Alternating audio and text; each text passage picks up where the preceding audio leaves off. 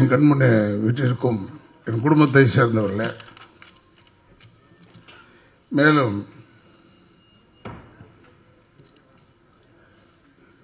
எங்கள் பெப்சிக்கு தலைவராக இருக்கக்கூடிய என்னுடைய அன்பு சகோதரர் இயக்குனர் ஆர். கே. செல்லுமணி அவர்களே என்னுடைய அன்பு சகோதரர் அண்ணன் சங்கர் கணேஷ் அவர்களே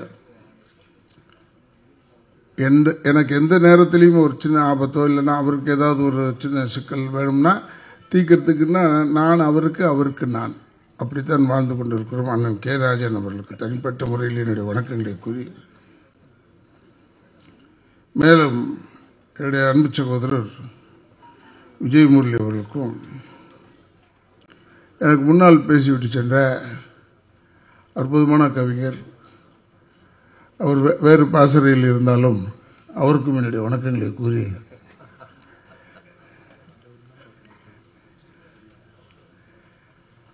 எஃப்சி சிவா அவர்களுக்கு என்னுடைய வணக்கங்களை கூறி பொன்ராம் அவர்களுக்கு தனிப்பட்ட முறையில் வணக்கத்தை சொல்லணும். ஏன்னா இந்த ஒரு வணக்கத்தை சொன்னால் தான் அவர்கிட்ட சொல்ல முடியும். உனக்கு தனியாக வணக்கம் சொல்லியிருக்கேன் ஞாபகம் வச்சுக்க என்னன்னு. அதுக்காக தான் அது. மேலும் அண்ணன் அவர்களுக்கும் என்னுடைய வணக்கங்களை கூறி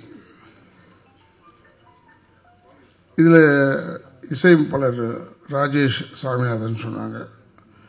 அவன் ராஜேஷை எல்லா வேலையும் இழுத்து போட்டுட்டு இருக்கான். தப்பு கிடையாது. ஏன்னா டி ராஜேந்தர் வந்து எல்லா வேலையும் செய்வார். மகளிர் அடி மட்டும்தான் அவர் பண்ணலை. ஏன்னா அந்த ஒரு இடத்துக்கு மட்டும் அவரால் போக முடியல. பட் இருந்தாலும் அவர் சகலகலா வல்லவன். அதே போல் இப்போ ராஜேஷ் வந்து இப்போ பெரிய சகலகலா வல்லவனாக இருக்கிறார். ஒரு அன்பு சகோதரர் தீனா வந்திருக்காரு. ஒரு இசையமைப்பாளருடைய யூனியன் தலைவர். அவருக்கு என்னுடைய வணக்கங்களை கூறி என்னுடைய அன்பு சகோதரர் வேகமாக பேசினாலும் சில நேரத்தில் விவேகமாக பேசுவார். சென்ட் மாஸ்டர் ஜாகுவார் தங்கத்தவர்களுக்கும்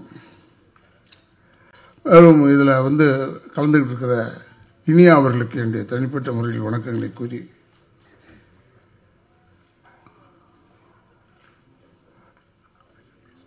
மேலும் இந்த படத்தில் நடித்த கதாநாயகி எனக்கு ஏன் ரொம்ப பிடிச்சதுன்னா நல்ல உயரம். இந்த கயல் படத்தில் வர்றது ஒரு பொண்ணு. அந்த மாதிரி உயரம் இது. இது உயரத்துக்கு ஹீரோ யார் யாருன்னு பார்த்தா நம்ம தினேஷ் மாஸ்டர் போட்டார் உகர் உகர் உகர் உகர். நீ எங்கே ஒதுங்கினாலும் அது தப்பு தானே ஆனால் அந்த டைரக்டர் ஏன் பாராட்டுறேன்னா ரெண்டு செங்கலை போட்டு ஊ- ஊ- ஊ- அப்படி ஊதி விடுவாரு. எப்பயுமே எவனுமே தன்னுடைய மைனஸை ப்ளஸ் ஆக்குறானோ அங்கே வெற்றி மாஸ்டர் அதுக்காக சொல்கிறேன் நான். இந்த கதாநாயகி நான் வரும்போது பார்த்தேன். பியூட் இப்போ நான் ரொம்ப உயரமாக இருந்தோன்னே நினச்சேன். ரொம்ப உயரமாக இருந்தால் நடிக்க வராது அப்படின்னு நினச்சேன். பட் இந்த பொண்ணு வந்து எக்ஸ்பிரஷன்ஸ் எக்ஸலண்ட் எக்ஸ்பிரஷன்ஸ் எல்லாமே. பொதுவாக நல்லா ஆக்ட் பண்ணியிருக்கு அந்த பாலில். அது டைரக்டர் வந்து அவர் அவர் தான் படம் பேர் லோக்கல் சரக்குன்னு வச்சுருக்காரு. அவருக்கு தெரியாத அந்த விஷயம்? பொங்கி வந்தால் கொஞ்சம் மேலே மிக்சரை போட்டோம்னா அடங்கிடும்னு தெரியும். அதனால் அதை வச்சுருக்காரு. அது தினேஷ் மாஸ்டருக்கும் தெரியும். ஆனால் அவருக்கு தெரியாது இவருக்கு தெரியாதுலாம் நான் சொல்ல மாட்டேன். எல்லாருக்கும் தெரியும் இந்த விஷயம்லாம். அது நல்ல மேலே போட்டு அதை நல்லா யூஸ் பண்ணாங்க அந்த இடத்துல. முக்கியமாக இங்கே வந்திருக்கிற நம்ம ராஜேஷுடைய சகோதரிக்கும் மனைவிக்கும் என்னுடைய தனிப்பட்ட முறையில் வணக்கங்களை சொல்லிக் கொள்கிறேன்.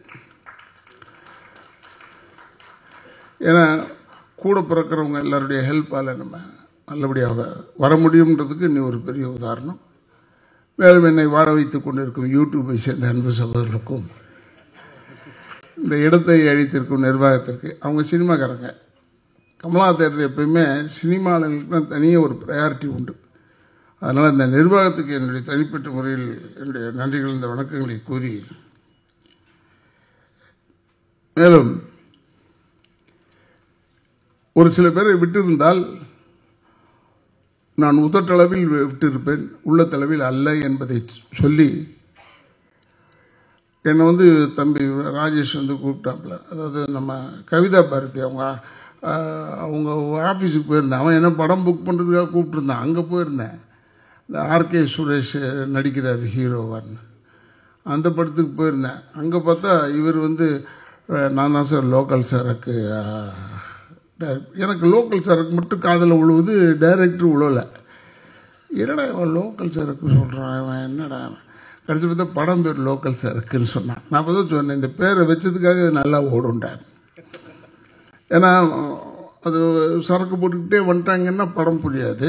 அடுத்த நாள் தெளிஞ்ச உடனே திருப்பி சரக்கு ஏற்றிக்கிட்டே வந்துடுவான் இந்த லோக்கல் சரக்குக்கு ஒரு எஃபெக்ட் இருக்குது அதுக்காக சொல்கிறேன் நான் உனக்கு.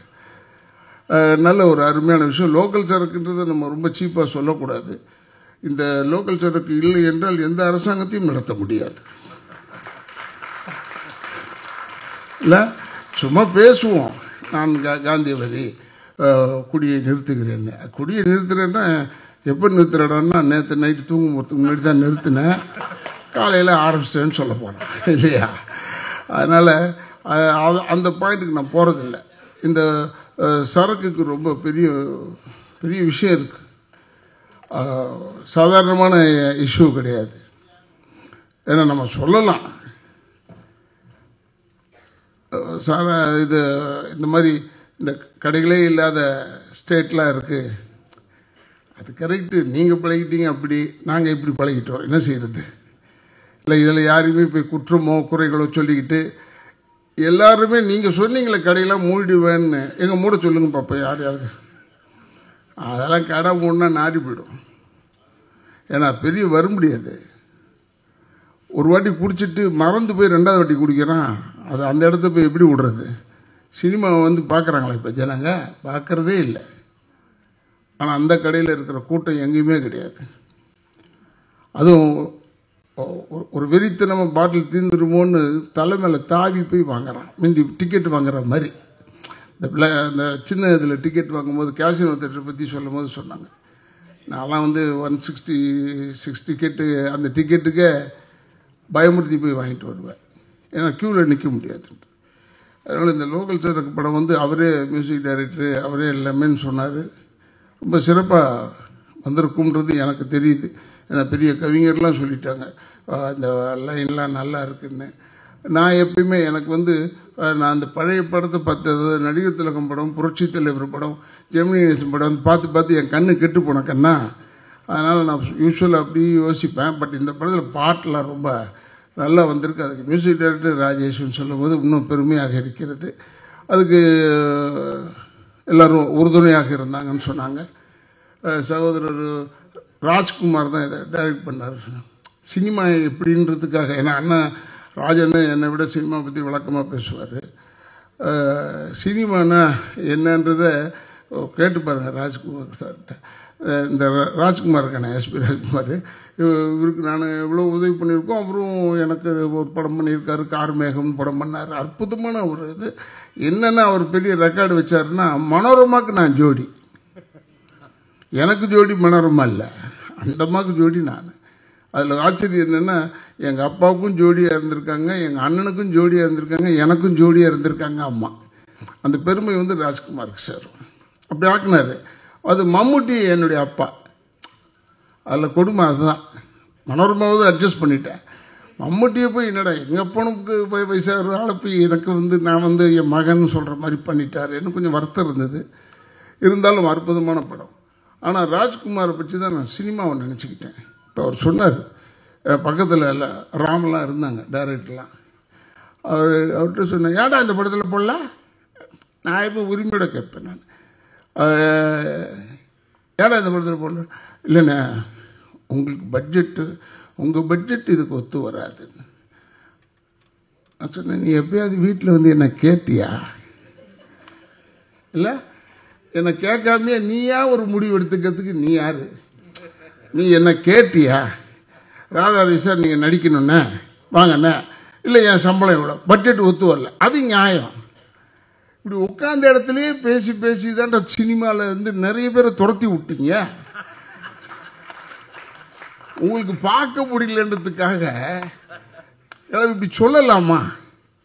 இல்லை இல்லை நான் நினச்சிக்கிட்டேன். ராஜ்குமார் வச்சு சொல்ல இன்னைக்கு இருக்கிற சினிமா தான் ஏங்க எங்க ராதாரவியை போடலாமா? அவர் ரொம்ப பிஸிங்க. வீட்லேயும் உட்காந்துருப்போம் சும்மா எவ்வளோ அடிச்சு விட்டுக்கிறது. இல்லைங்க நீங்கள் ரொம்ப பிஸியாக இருக்கீங்க என்ன?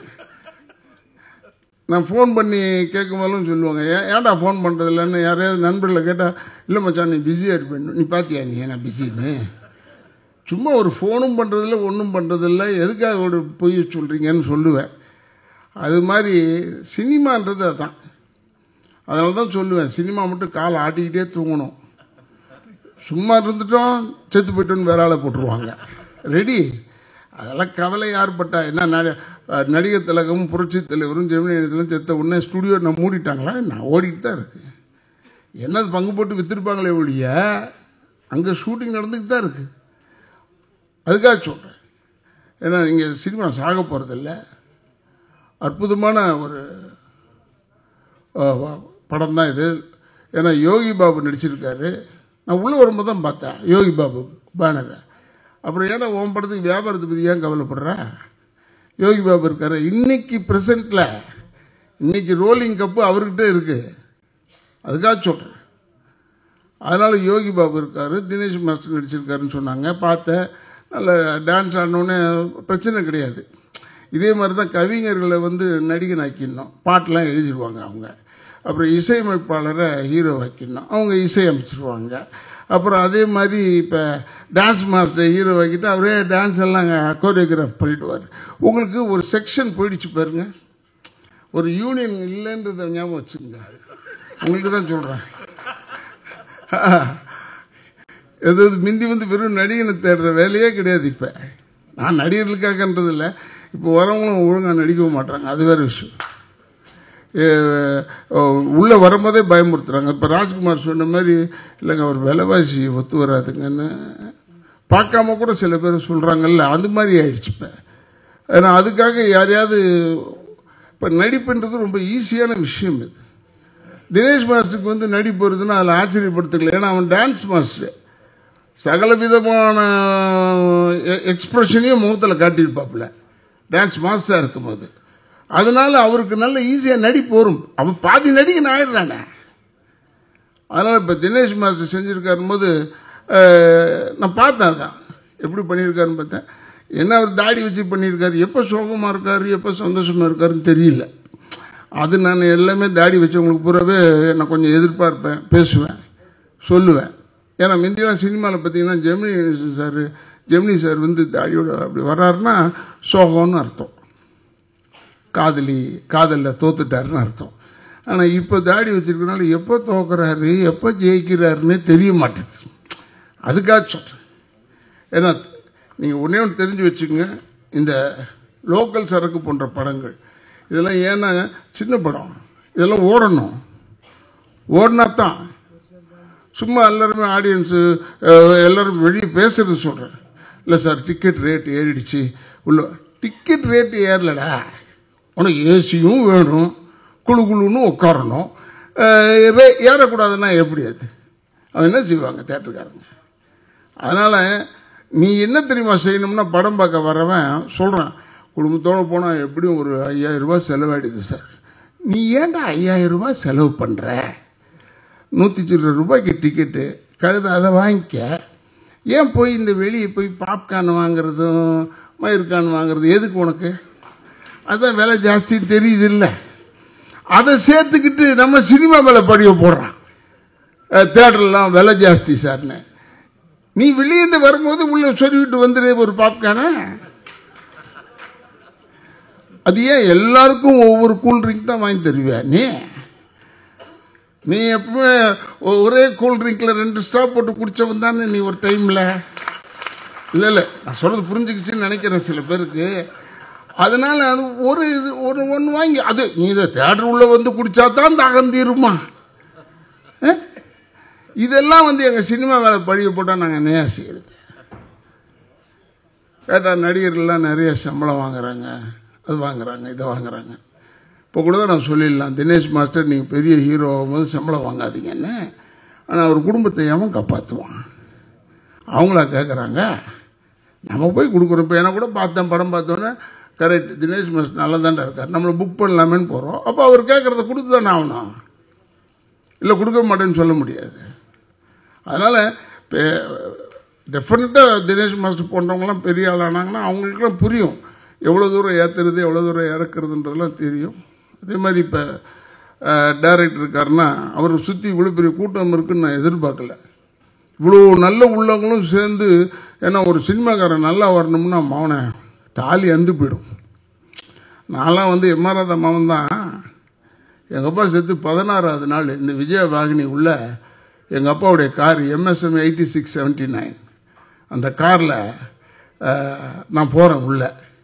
நான் வந்து எடிட்டர் எல் கேசவனை பார்க்கறதுக்காக போகிறேன் உள்ளே போகும்போது வெளியே செ செக்யூரிட்டி என்னை நிறுத்திட்டான் எதுக்குப்பான்னு கேட்டேன். இல்லை சார் உள்ளே கார் போகக்கூடாது இங்கே தான் பார்க் பண்ணணும். இல்லையா நான் எம்ஆர்ஆதா பிள்ளையா? எம்ஆர்ஆதா வண்டியா? அது எங்களுக்கு தெரியும் சார் அவர் செத்து போய் பதினாறு நாள் ஆயிடுச்சா? டக்குன்னு ஒரு கேட் என்னை நிறுத்தினாயா? உள்ளே வரக்கூடாது வண்டி. அப்படியே போய் நிறுத்துங்கன்னு. அப்போ முன்னாடியே நிறுத்திட்டு அப்புறமா நான் நடந்து போய் பார்த்துட்டு வந்தேன். ஆனால் அதுக்கப்புறம் அவ- அவங்களுக்கெல்லாம் நான் வந்து பெப்சியில் வந்து தலைவராக வந்தோடனே அவங்களாம் நம்மளை செலாம் அடிக்கிறாங்க அது வேறு விஷயம். நான் பெப்சியில் இருந்த ஒரே நடிகன் நான் தான் உபத்தலைவராக அதுக்காக சொல்கிறேன் மேலும் ஒன்றே ஒன்று சொல்கிறேன் சினிமாவில் மட்டும் ஞாபகம் வச்சுக்க. நீங்களாம் வந்து படம் பாருங்கள் தேட்டரில் வந்து படம் பாருங்கள் தயவுசெய்து சொல்கிறேன் எவ்வளோதான் தமிழ் ஜனங்கிட்ட சொல்கிறது அப்புறம் எப்படி தமிழ் படம் வளரும்? கேட்டால் அது நல்லா இல்லை சார் படம்னு. சரி அது நல்லா இல்லை. இங்கிலீஷ் படத்தை போய் பார்க்குறியா? அது நல்லா இருக்கா? அதில் உனக்கு ஏதாவது புரிஞ்சுதா? இல்லைங்க இப்போ தமிழில் டப் பண்ணிக்கிட்டே தமிழில் டப் பண்ணது அதுதான் அந்த டைலாகான்னு உனக்கு தெரியாதுடா. இங்கிலீஷ் படத்தை போய் பார்க்குறான். இந்த மாதிரி கருமம் நல்ல lovable pictures like Roman Holiday அது மாதிரிலாம் ஓடினாலும் பரவாயில்ல. இப்போ என்னென்னமோ கர்மத்தை கொண்டாண்டான் சயின்டிஃபிக்காக உள்ளே கொண்டாந்து ஒரு மிருகத்தை காட்டுறான். ஜனங்க நம்ம ஜனங்க விழுந்து விழுந்து போய் பார்க்குறியா அதை. அந்த மிஷின் வந்து தமிழில் பேசுது. ஆச்சரியமாக இருக்கு. ஒரு ப- பசங்க எல்லாரும் பார்க்குறாங்க அதை. அதை பார்க்கறதுக்கு நம்ம படுத்து பாருங்க. இது கா- காமெடி ட்ராக்கோடு இருக்கிற படம். கலகலப்பாக இருக்கிற படம். டிக்கெட்டில் என்டர்டெயின்மெண்ட் டேக்ஸ் பேத்தாஸ் டேக்ஸ் கிடையாது. ஒன்லி என்டர்டெயின்மெண்ட் டேக்ஸ் தான் இருக்குது sorry pathos tax sentiment tax கிடையாது. என்டர்டெயின்மெண்ட் டேக்ஸ் அந்த என்டர்டெயின்மெண்ட்டை கொடுக்கக்கூடிய படமாக இருக்கும் இந்த லோக்கல் சரக்கு. அதுக்காக சொல்கிறேன் ஏன்னா டெஃபினட்டாக இப்போ ராஜன் வந்து டிஸ்ட்ரிபியூட்டர் அசோசியேஷன்ஸ் அங்கே தலைவராக இருக்கார். அவங்கெல்லாம் இருக்கிற காலத்தில் நிச்சயமாக ஏதோ ஒரு நல்லது நடக்கும். இந்த சினிமா விடிவு காலம் வரும். வராமல் இருக்காது. அப்புறமா நீங்கள் ஒன்று தெரிஞ்சு வச்சுங்க பெரிய படமாக எடுக்கிறீங்க. அப்புறமா வந்து ஒரே ஆள் வாங்குறாங்க ஒரே ஆள் வாங்குறாங்கன்னு ஒருத்தர் பேரை சொல்கிறீங்க அவர்கிட்ட பணம் இருக்குது வாங்குறாரு. நீ விற்காதாங்க வேற எங்கேயாவது விற்றுட்டுப்பா அவர் அவங்க படம் வாங்கினதுனால தான் நான் கமல்ஹாசன் படம் நூறு நாள் ஓடிச்சுப்பேன் இல்லைன்னா நூறு நாள் ஓடி இருக்க வாய்ப்பு இல்லையா. நான் நூறு நாள் பார்த்து ரொம்ப நாள் ஆச்சு. இந்த நூறு நாள் மூணு நாள் போதும். இந்த இப்போ கூட சொல்லும் போது கோரிக்கையை கொடுத்தாங்க. மூணு நாளுக்கு அப்புறமா விமர்சனம் கொடுங்கன்னு. அது முடியுமா? அதை இப்போ நான் பேசிகிட்டு இருக்கும்போது நார்வேயில் பே கேட்டுக்கிட்டு இருக்கான் என்ன. இங்கேருந்து நார்வேக்கு அனுப்பிச்சிட்டாங்க அதுக்குள்ளேயும். அது எப்படி மூணு நாளில் உன் படத்தை விமர்சனம் பண்ணுவாங்க? அதனால் நான் சொல்கிறேன் அவங்களுக்கு வந்து சயின்டிஃபிக் அட்வான்டேஜ் எப்பயுமே பெருசாக தான் யூஸ் பண்ணுவாங்க. சகோதரர் ஸ்னேகன் சொல்லும் போது கூட இந்த தலைப்பை தப்பாக போடுறீங்க கீழே கீழே போடுற எப்படிங்க எல்லாரையும் உள்ளே கூப்பிடுறது? எதையாவது இப்படி சொல்லி இல்லி தான் உள்ளே கூப்பிட முடியும். இப்போ கூட நான் பேசியிருக்கேன். ராதா ரவி இவரை சாடினார். அவங்களா போடுவாங்க ஐயா நான் என்ன சொல்கிறேன் அது ஒரு நாலு நாள் கழுதை வித்துட்டு போட்டுமே. நம்மளால் குடும்பம் நடத்துகிறாங்கல்ல அவங்க? அதுக்கு நன்றி சொல்லியிருந்தோம். த- தப்பான தலைப்பை போடாதீர்கள்னு அப்படி போட்டாதான் ஏன் பார்க்குறான் ஜனங்க? நீ நல்ல அறிவோடு போடுங்க பார்க்கவே மாட்டான். அறிவோடு இருந்தால் பார்க்க மாட்டான். சும்மா இது ஒரு தமாஷ். இப்படி போகிற வழியில் அப்படியே பார்த்துக்கிட்டே போகணும். இப்போ கூட நான் வந்த உடனே சொல்லலான்னு பார்த்தேன். தயவுசெய்து செல்ஃபோன்லாம் ஆஃப் பண்ணி வைங்க. மேடையில் வாழ வாழ வாழ வாழ வாழன்னு கத்திக்கிட்டு பேசுகிறாங்க ஸ்நேகம் பேசும்போது நான் பார்த்தேன். ஒருத்தங்க செல்லையே பார்த்துக்கிட்டு இருக்காங்க. அதை பார்த்து என்ன செய்ய போகிறீங்க இருக்கிற நேரத்தில் எப்படி ஃப்ரீ பண்ணிட்டு வந்து உட்காந்துட்டீங்க இந்த ஒரு மூணு மணி நேரம் ஒரு ரெண்டு கோடியில் வியாபாரம் பண்ண போகிறதே இல்லை நீங்கள் அதனால் உட்காரும்போது பாருங்கள் ஆனால் தேட்டரில் வந்து படம் பாருங்கள் கமலா தேட்டர் போன்றவா இங்கெல்லாம் வந்து படம் பார்க்கணும். படம் பார்த்தா தான் நாங்களும் வாழ்வோம். நாங்கள் வாழ்ந்தது இப்படி வந்து பேச முடியும் எங்களை கூப்பிடலாம். இல்லைன்னா எங்களை மறந்துடுவாங்க. அதற்காக சொல்கிறேன் இந்த சகோதரர் வந்து இப்போ லோக்கல் சரக்கு எடுத்திருக்காரு அவர் வந்து தாய் தந்தையர் மேலே ரொம்ப பிரியத்தோடு எப்பவுமே இருக்கக்கூடியவர். அது கேள்விப்படும் போது நமக்கே சந்தோஷமாக இருக்குது நான் எப்பவுமே இளைஞர்களுக்கு சொல்லுவேன் பேசி முடிக்கும்போது. தாய் தந்தையரை முதியோர் இல்லத்தில் சேர்த்து விடாதீர்கள். கூடவே வச்சு பார்த்துக்குங்க. அதான் அழகு. கடைசி வரைக்கும் ஸ்வீட் நியூஸன்ஸ் தான் அவங்க திட்டிகிட்டே இருப்பாங்க. அதுக்கு என்ன செய்ய முடியும்? தாய் தந்தையர் இல்லையா? நமக்காக உயிர் விட்டவங்க இல்லையா? ஒருத்த கல்யாணம் ஆகி ஃபர்ஸ்ட் நைட் முடிஞ்சது. அடுத்த நாள் காலையில் அம்மா கிட்ட போய் சொன்னான் ஏம்மா என் பொண்டாட்டி ஒரே தொந்தரவு பண்ணுறான் என்னடா முதியோர் இல்லத்தில் சேர்த்துருவோம் உங்கள் அம்மாவை. முதியோர் இல்லத்தில் சேர்த்துருன்னு சொல்லிகிட்டே இருக்காம்மா. அப்படியா? இப்போ தான்டா கல்யாணம் ஆச்சு. என்ன குழந்தை பிறந்ததுன்னா ஆனா பெண்ணான்னு பார்த்துட்டு போய் சேர்ந்துடுறேன். இவன் அதுக்காக வேகம் கொடுத்துட்டான். அப்புறம் என்னாச்சுன்னா குழந்தை பிறந்துருச்சு. ஆண் குழந்தை பிறந்தது. ஏம்மா ஆம்பளை குழந்தைம்மா பார்த்துட்டல்ல? போமான்னு ஹீரோ அந்த குழந்தை படித்து இடித்து முடிச்சுட்டு கல்யாணம் முடிஞ்ச உடனே போயிடுறேன். அப்புறம் நல்லா படித்தான் அவன் டாக்டருக்கு படித்தான் கல்யாணம் ஆச்சு. கல்யாணம் ஆன உடனே அன்னைக்கு நைட்டு ஃபஸ்ட் நைட்டு பேரனுக்கு இந்த அம்மா வெளியே படுத்திருக்கா பக்கத்தில் வந்து மருமவை எழுப்புறா. என்னம்மாங்கிற பாருங்க என் மருமவ என்னை முதியோர் இல்லத்தில் சேர்க்க சொல்கிறான் என் பையன்கிட்டன்னு சொல்கிறான்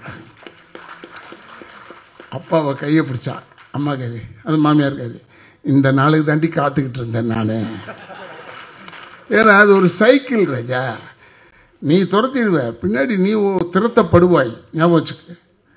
அதனால் சொல்லிக் கொள்கிறேன் தாய் தந்தையரை முதியோர் இல்லத்தில் சேர்க்காமல் பார்த்து கொள்ளுங்கள். அன்பு சகோதரர் ராஜேஷுக்கு யாருமே வந்து ஆசீர்வாதம் பண்ண தேவையில்லை. அவங்க அம்மாவுடைய ஆசீர்வாதம் இருக்குது அவங்க சகோதரி ஆசீர்வாதம் இருக்குது மனைவியுடைய ஆசீர்வாதம் இருக்குது குடும்பத்தார் அத்தனை பேரையுமே அவர் கும்பிட்டுக்கிட்டே இருக்கார் அந்த மனுஷன். அதனால் எனக்கு இவ்வளோ நல்லவன்னு தெரியாது ராஜேஷ். நான் லோக்கல் சரக்குன்னு படம் பேர பார்த்த உடனே அவனை பார்த்தாலும் ஒரு கரட முரட்டாக இருக்கானே பார்த்தா பெரிய கவிஞனா பெரிய எழுத்தாளர் மியூசிக் டைரக்டர் டைரக்டர் அப்படி இப்படின்னு போட்டு அடுக்கிறாங்க இப்போ. எவ்வளோ நல்லது பண்ணியிருக்கான் எல்லாருக்கும். நான் ஒன்று சொல்கிறத கேட்டுக்க. செல்லுமணிக்கிட்ட சொல்லுவேன் உங்களுக்கு தான் சொல்கிறேன் நீங்கள் தான் எனக்கு பெப்சிலேருந்து மூட்டை மூட்டை அரிசிலாம் எங்களுக்கு அனுப்பிச்சிங்க. எங்கள் யூனியனுக்கு டப்பிங் யூனியனுக்கு. அதனால் சொல்கிறேன் எவ்வளோ நல்லது பண்ணாலும் சினிமாக்காரன் நன்றி கெட்டவன். எழுதி வச்சுக்க. உன் படம் ஓடல அவனுக்கு சந்தோஷம் மாதிரி அவனுக்குமே கிடையாது. உங்ககிட்ட தான் வந்து மூட்டை அடித்து வாங்கிட்டு போயிருப்பான். ஆனால் சந்தோஷப்படுவான். நாலு படம் ரிலீஸ் ஆச்சு. அப்போ அந்த ஆஃபீஸ் ப்ரொடக்ஷன் ஆஃபீஸில் உட்காந்து பேசுகிறாங்க எப்படிப்பா அந்த படம்? ம். அவ்வளோதான் அது. அப்படியா?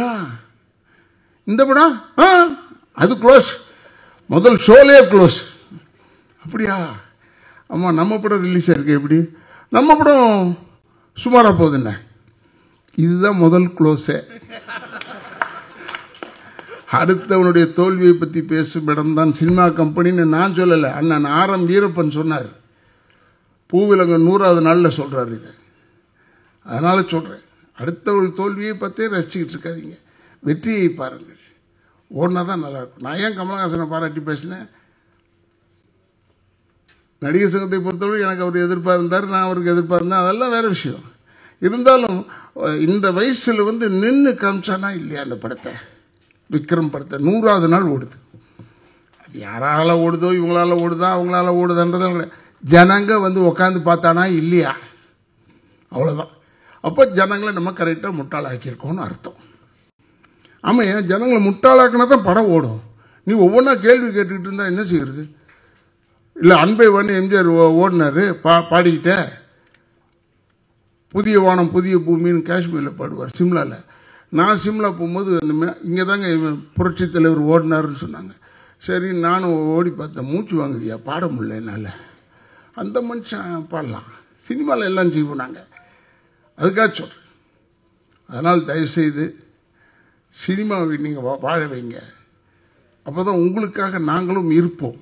எந்த பிரச்சனைனாலும் பொது பிரச்சனைனா சினிமாக்காரன் தான் கூப்பிடுறீங்க. அதுக்காக சொல்கிறேன் அது எந்த பிரச்சனையாக இருந்தாலும் சரி.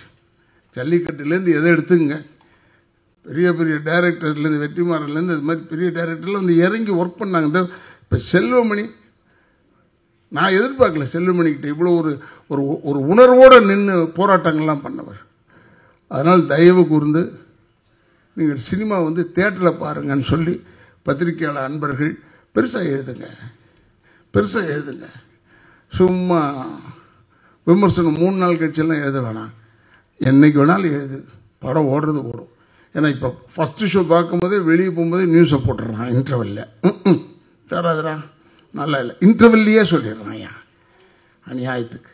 அதனால் தயவுசெய்து நீங்கள் எல்லாம் வந்து பாருங்கள் படம் பாருங்கள் பெரிய வெற்றி வரணும். சகோதரர் ராஜேஷ் அவர்களுக்கும். அவங்க குடும்பத்தாருக்கும் என்னுடைய வணக்கங்களை கூறி எனக்கு இப்படி ஒரு வாய்ப்பு கொடுத்ததற்கு மறுபிறவி என்று ஒன்று இருந்தால் உங்கள் பாதங்களாக பிறக்க வேண்டும் என்ற எண்ணத்தில் விடைபெறுகிறேன். நன்றி வணக்கம்.